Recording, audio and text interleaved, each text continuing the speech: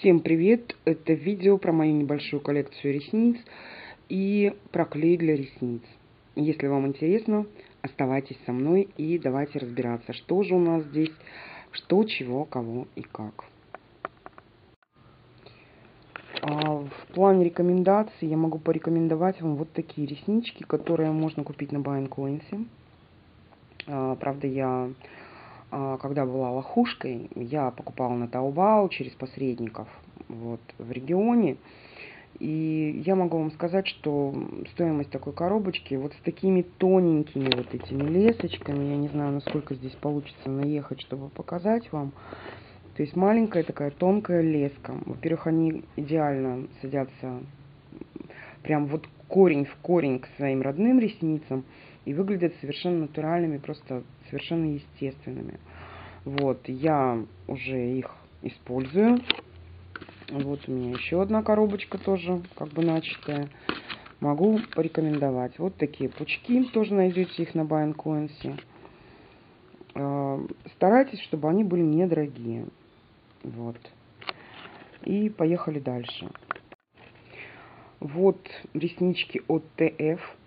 А, значит, эм, ТФ я могу вам сразу сказать, что это никакая не итальянская или там испанская марка.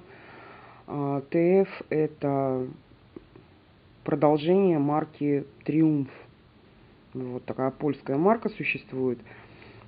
А ТФ или там Best for You это непосредственно как бы ответвление, либо ребрендинг марки Триумф. У них очень неплохие карандаши, вот, которые прям такие хорошие, знаете, по 30 рублей.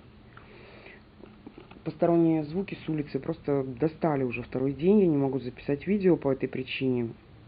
Видимо, все ожили, весна. Вот такие ресницы, которые мне как-то подарили. Подарили мне их давно, я их пока еще не использовала, но подумываю. И вот неплохие корейские реснички. Советую обратить на них внимание. Вот, и уже завязывать покупать ресницы по 700, 800, 1500, 3 800 и так далее рублей. Особенно для фотосетов когда, я повторяю, вы клеите ресницы на каких-то там, не знаю, 15, 20, 30 минут, час и так далее. Конечно, если вы работаете с клиентами, если клиент идет на красную ковровую дорожку, а, то безусловно. А для фотосессии подойдет нечто попроще и то, что будет смотреться, смотря какой вам нужен эффект. В общем, ищите среди недорогих брендов, китайских, корейских, вот, польских, про которые я сказала. А сейчас мы перейдем к теме, чем же мы будем эту красоту клеить. Вот клей опера, я разобралась вообще, откуда он все-таки, откуда, откуда растут его волшебные резиновые и прочные ножки, беленькие. Он белый, резиновый, и э, делают его китайцы, но делают по японскому рецепту. То есть, если вы найдете э, официальный сайт э, бренда вот этого опера, э, ну, клей, я могу сказать, это просто бестселлер. В Азии это бестселлер. Э, если знакомые едут в Китай, покупайте, не стесняйтесь, заказывайте через них, потому что через сайт он стоит очень дорого, особенно через двойное посредничество. То есть Taobao, плюс там прислать в Россию – и так далее, и так далее, и так далее. На территории Китая он стоит просто реально каких-то смешных денег, очень-очень смешных. Это must-have практически в каждой азиатской косметичке. И э, впечатления самые хорошие.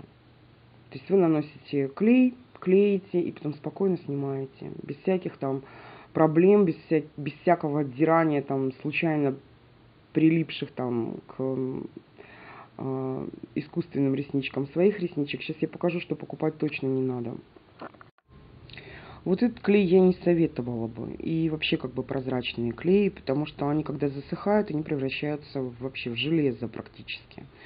То есть зачем такие усилия, я не понимаю. Если такой как опера взять в косметичку и просто где-то подклеить, подправить, то вот здесь как бы все печально в случае вот с этим клеем. Я не советую его брать. И вообще просто прежде чем что-то брать, обращайте внимание на то, что говорят другие про те или иные бренды, про те или иные марки. Вот. Надеюсь, это видео было вам полезным. Оно убережет вас от ненужных покупок. Моя собачка передает вам привет, вздыхает тут она. Вот. И поэтому, как бы, девочки, была очень рада, что вы ко мне пришли. Надеюсь, еще раз, это было полезно. Всего хорошего. Это была Ольга Швец. Подписывайтесь на мой канал. Еще много-много полезной информации впереди.